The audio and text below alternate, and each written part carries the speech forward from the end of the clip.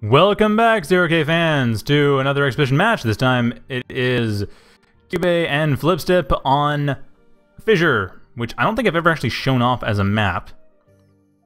It's listed as work in progress, so it's actually kind of pretty. Anyway, Kyubey starting out with jump bots.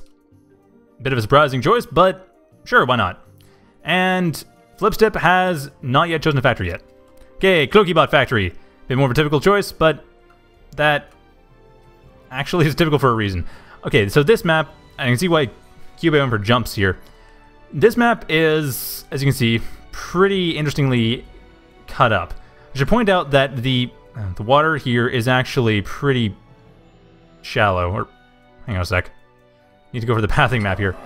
The water is well, okay, it doesn't matter how shallow it is. It's actually you can't easily path into it. Actually, it doesn't look like it's that shallow at all, come to think of it.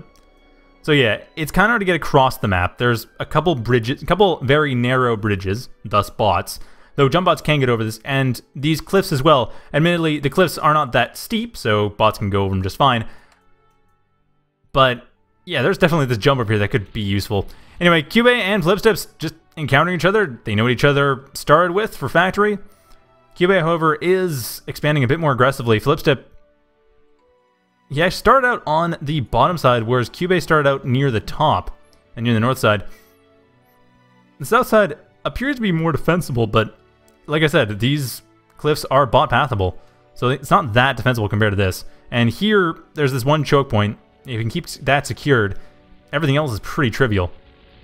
That being said, both players are likely to start expanding. As you can see, Kyubey already expanding south to take these particular metal extractors, and also attacking, very directly attacking Flips' base, and a tick coming in there, getting okay. That tick getting getting killed by the pyro was pretty big. I didn't even realize ticks got ticks would explode when they were killed under production. I guess it was just done at the time that it exploded. Completely stunning this entire area, and the Cloakybot factory going down soon after. This pyro doing a great job. My goodness, Kyubey is doing a ton of damage here. That this is a hero pyro, people. This this pyro, this pyro I think it's just one Kyubey the game. This single Pyro. I didn't expect the game... I don't think the game is this short, actually. I don't think it's quite done yet, but yeah. That Pyro. I, I don't even... So anyway, I mean, Flipstip still has some ways around this. He can still attack this freak or try to do what he can to get rid of it. And he still has his commander. He still can rebuild. He can reclaim. He can get all this stuff going. But he's looks like he's going pure commander, getting riot cannon radar, but morphing once again. And this freaker is going to go down. Kyubey losing his builder, losing his expansion attempt to the south. The expansion to the south is going to be protected, however. A Pyro coming in, another Pyro coming in. To point out, the first one's not actually dead, by the way. It's just down here. Oops, okay. Well, it's down there. This is the first Pyro. Still alive, slowly regenerating. Second Pyro, coming down here, which will be able to get rid of this glaive. Not before the expansion attempt has been nullified, though. Kyubey is going to have to start over from scratch, but that being said, Kyubey has an economic advantage. He has taken the center. These metal extractors are actually pretty lucrative, come to think of it. 2.4 and 2.2 respectively. Nicely done there. Just point out the metal spots in this map. It's pretty metal poor. Like 2.3 are pretty much across the board, but there's only about a dozen metal spots total. Maybe a bit more than that. Actually, double smoke, dozen on the bottom and then another, so a dozen and a half. That is tiny. No geovents either. This is a very, very famine map. So that's probably one of the things that's keeping Flipstip alive is the fact that Kyubey really can't push all that hard, even for the amount of time he's had. On most maps, he would have won by now. He would have had 20, 25 metal income and would be fine. But on this map, given the sheer lack of any metal extraction, the sheer dearth of metal spots, Flipstip actually has a chance to rebuild. He is now just resurrecting, and that's what he was. He was morphing for a resurrection, getting Lazarus device and Nanolathe to get back his Cloakybot factory rather than, you know, rebuilding the Cloakybot factory with the metal he'd reclaimed from. Admittedly, reclaiming it would actually get his metal back up. A little bit surprised he's doing it this way. Okay, he's spending metal to to resurrect. That's a point. But yeah, I'm surprised he's going for the resurrection option rather than just rebuilding. He would have had it a minute sooner easily. And at the same time, Kyubey going for combination of Freakers and Pyros.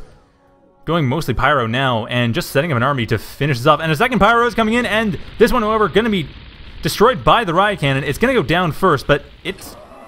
No, it's not. It's just going to be chased away. Flipstip still... Well, okay. Admittedly, he didn't lose the Cloakybot Factory again at this point. Still halfway through, or two-thirds of the way through resurrecting it. But yeah, at this point, Kyubey's has had the only production in the entire game. I'm very surprised Flipstip has not just rebuilt the Cloakybot Factory, and he's also not resurrecting it at this point. It's It has been sitting there at two-thirds for the last 30 seconds. Okay, now getting back to resurrecting it, but still not great. And actually, okay, getting his economy, not a bad idea, but still, he needs production. Production desperately. Just to get rid of these pyros that are coming in and to make sure that he's not going to lose to concerted force of pyros. There's going to be a ton of pyros. At least six. Which on this map is quite a few, and actually with pyros is quite a few. Pyros are pretty expensive. 220 metal on their own. I mean, they are... We saw a single pyro torch this entire base. Everything in here burned to the ground by one pyro. So pyros are actually quite powerful. No use underestimating them. And why did Flipstip build storage? What the? Why build storage? Especially, you're not reclaiming a ton of things. I don't get that. But anyway, getting ticks up, which should be able to stop the pyros, assuming they don't die in the process of being built. Another pyro coming in here, and that is going to... Okay, where's it going to go? Come on, don't... Okay, it's going to die. It's not going to die. Kyubey's is very conservative here. However, one of the pyros is going to be turned against him. One of the pyro corpses that died is going to be turned against him, and a tick in place to stop anything else coming in from the north, mind you, not from the south. The south is still open, which Kyubey's is taking advantage of, and this pyro is not quite... No, it's, it's going to pay for it.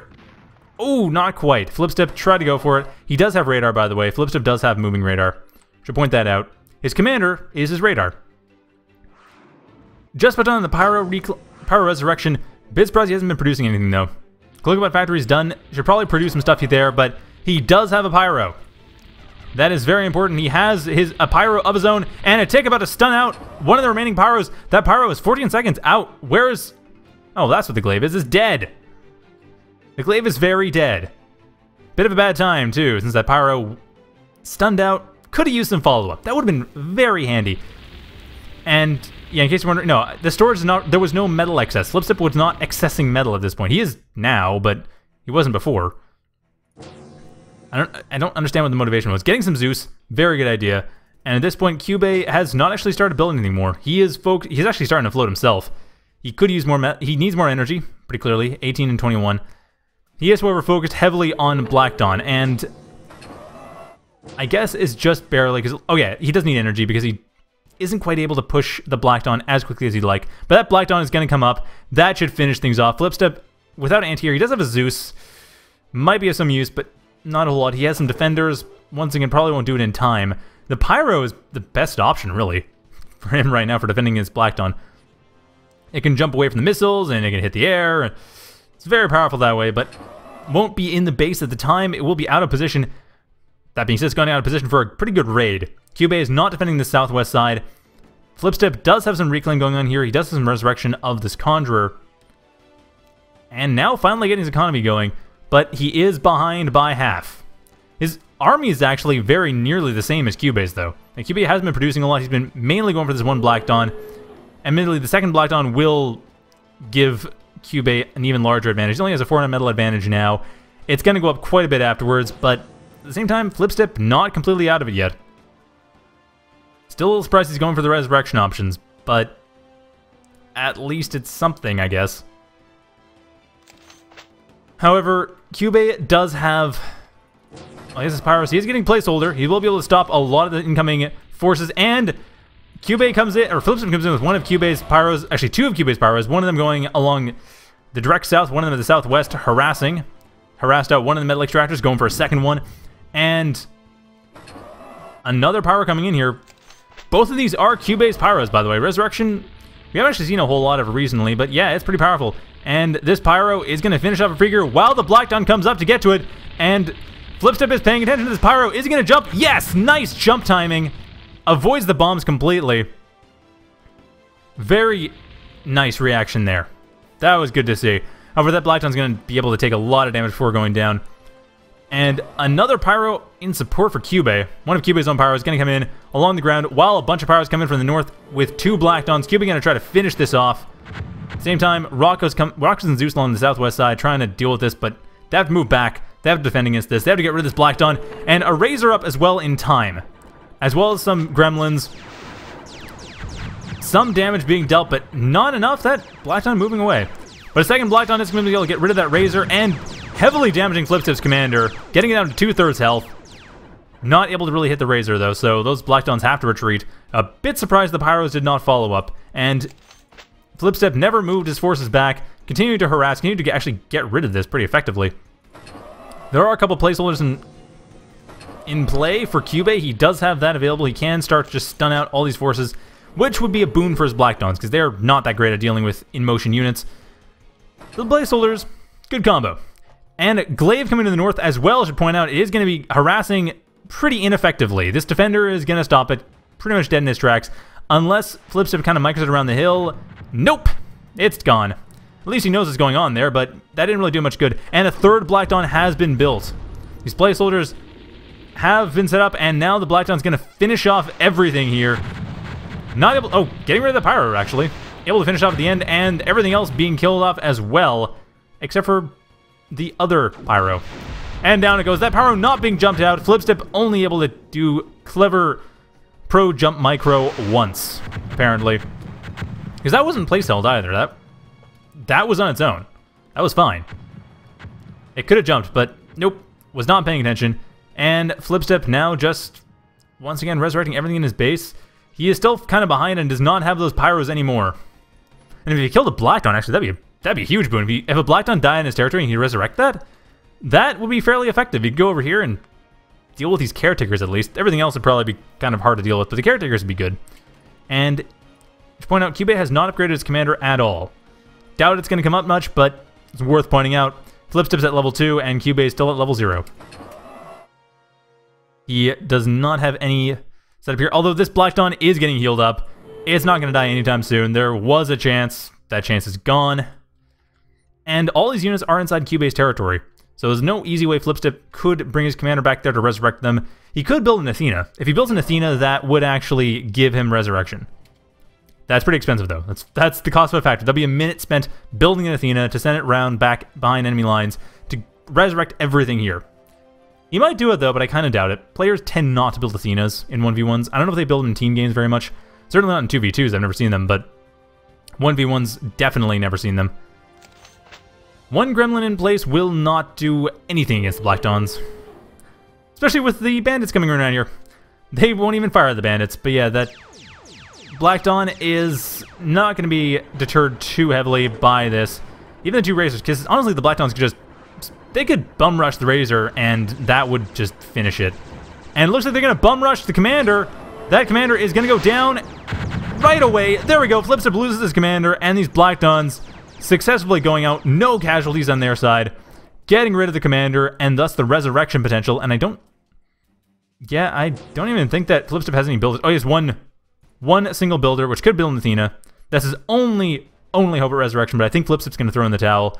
He built most of his game around Resurrection, and at this point, he doesn't have that. And there it goes. Throws in the towel. That was game. That was a really interesting game, although admittedly, I would have liked to have seen a bit better Pyro Micro. Better Pyro Micro would have probably done it against those Black Dawns, but alas, that was not to be. So I'll have another game for you guys shortly, which will be uh, It'll be between Rymark and Yipa.